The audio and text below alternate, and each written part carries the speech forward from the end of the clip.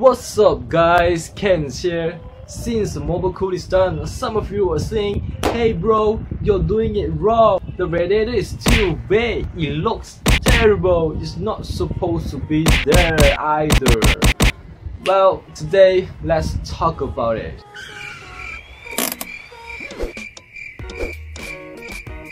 Apparently, this is not the one you can get from a normal gaming store. None of it is a PC component, nor the fittings or the pump. The benefit of using a car radiator, cost, surface area, and maintenance. And don't worry, I'll cover it later. We all know well about water cool, especially for the show and for yeah, overclockers. I had my CPU overclock 0.6 GHz on stock coolers.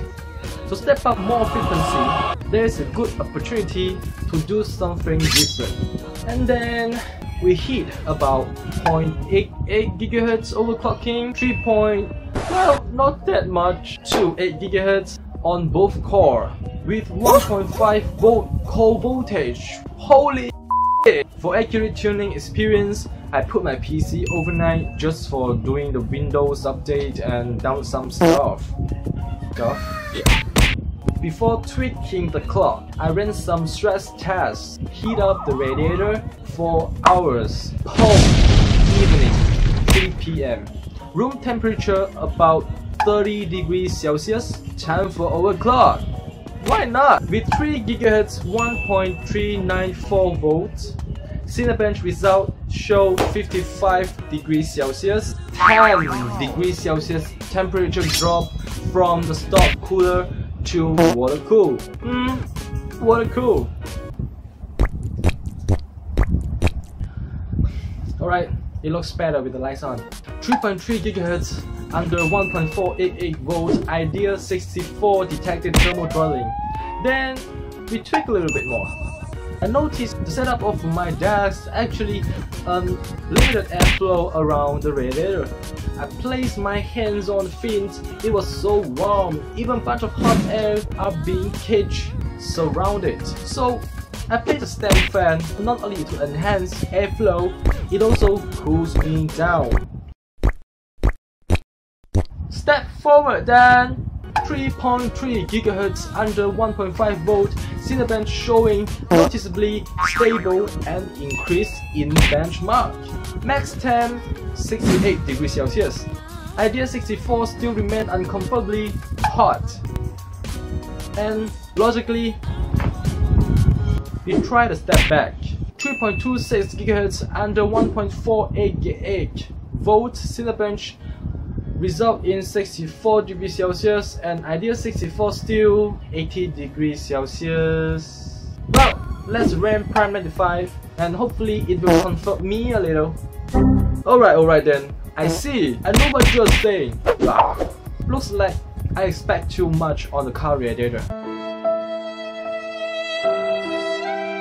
Whatever it is, it reached the limit of thermal efficiency.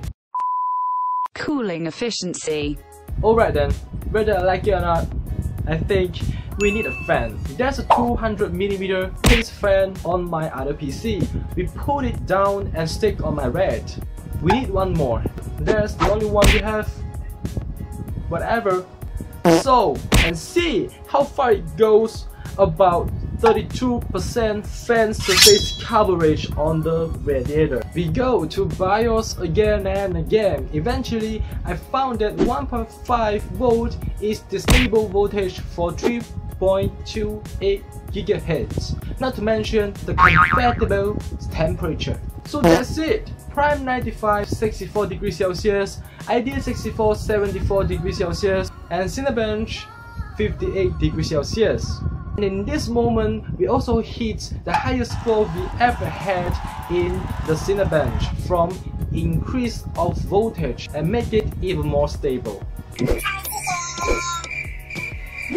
Now this part is about physics and this will talk about how easy it is to fill up and drain the system and we also cover mixed metal and electrochemical reaction. Before I forget, about cost. In Malaysia, a complete 240 liter custom loop costs around 1.6k ringgit Malaysia. but my build cost me just 200 plus 27 coolant and distill. So total below 230 ringgit Malaysia. Know what? DIY. Just don't blame me about professional. I'm not professional either. Well, it works like this. How to fill up? Fill up the system from the pressure cap like the car do until water is equilibrium with the reservoir. Uh, this is not about the car. Keep filling it until the desired water level. Run the pump, water fill up the whole block and tubing. This process called bleeding. Air escape from the radiator and the reservoir. Remember, a hole I drill for run the tube inside the reservoir is exposed to the atmosphere. The bleeding done. Close the pressure cap. This moment the radiator is sealed. Seal. Stop the pump. Small amount of water return from the upper tank because there is air inside the radiator air can be expand or compressed. However, the water settle at a certain point, inch away from the upper tank. Vacuum inside the radiator stop the flow. Day after day, the water level where it settled down will raise due to the repeat heating of the system. This is hydrostatic principle, just like an upside down paper works. At the drinking side, the water is exposed to the atmosphere, but the same pressure can't apply to the tank. Pressure inside the tank is lower than the atmosphere or the drinking side of the bowl. Thus, the tank is creating a vacuum. The water will not overflow even they are in a different height.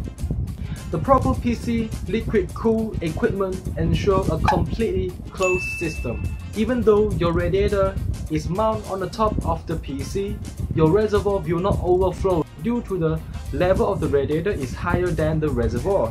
What about draining the system? Well, as simple as flushing a car cooling system. Unscrew the drain plug located at the bottom tank. The water from the radiator started to escape. At the same time, it drains the reservoir too. It works? You must have seen or heard about siphon before. So a tube connected at the bottom tank run inside to the reservoir. Tank, tube, and reservoir filled with water. They are in the same pressure. As the drain plug unscrewed, water started to escape from the whole radiator. This created a vacuum that pulling the water out from the bottom tank, tube, and reservoir. The atmosphere pressure pushing on the water surface in the reservoir until the siphon stop. I think I probably covered how the system works. Now this is about fluid properties, the mixed metal, and the longevity. Whether or not it's safe to use glycol-based coolant in the computer water So let me just quickly make a final answer. Try not to be narrow-minded and you'll be fine. So this is about the pump. So the pump that I get is the variable speed pump. I set it to max flow rate at all time, about 550 liter per hour. Or we can say 0.3889 times 10 power negative 3 meter cube per second. Impeller is made from plastic but not sure about shaft. Anyway, I don't think the shaft is important to know as it isn't exposed like the impeller do. Let me just eliminate that. Fittings are brass and block is copper. Their properties are close, so we eliminate that. Radiator is made from aluminum. However, I decided to take all the possible metal into the topic, aluminum, brass and copper. In an automotive perspective, proper coolant matter very much. I never think an all-purpose coolant that can pick up off the shelf is a good choice. In fact, it is horrible. A term called use only manufacturer recommended coolant. Trust me, engineers know your car better than you do. So that's why some automotive companies come out their own formulation on their OEM coolant, which treated your system better. And the famous aftermarket coolant use their own different formulation, but sometimes expensive just didn't do that much. You know, nothing lasts forever.